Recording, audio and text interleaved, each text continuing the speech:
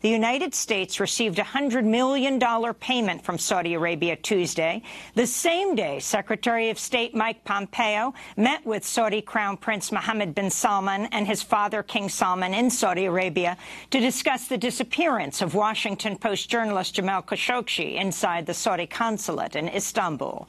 While the $100 million payment had been brokered earlier this summer and is related to U.S. military efforts in Syria, the timing of its delivery appeared highly suspicious, with one U.S. official telling the New York Times, quote, the timing of this is no coincidence.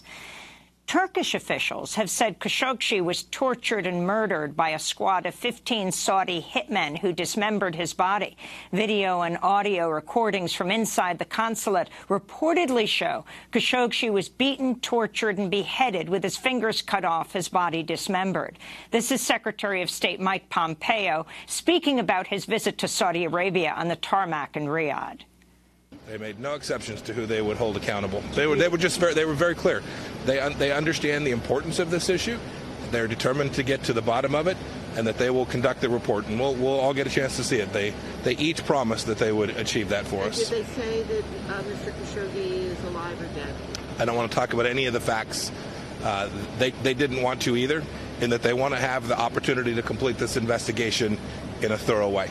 Khashoggi's suspected murder has caused a diplomatic crisis between the United States and Saudi Arabia, particularly for Trump's senior advisor and son-in-law Jared Kushner, who has close ties to Saudi Crown Prince Mohammed bin Salman. This is Kushner refusing to answer a CBS reporter's questions on a flight on Tuesday. Hey, Jared.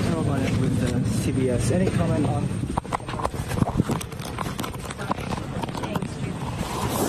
I don't get anything. It's a Service later had to defend the service for how its agents handled the incident, saying they did not intend to impede media access. Kushner has cultivated an extremely close relationship with Saudi Crown Prince Mohammed bin Salman, dining with him in Washington and Riyadh and hosting one-on-one -on -one phone calls with him outside of normal diplomatic channels.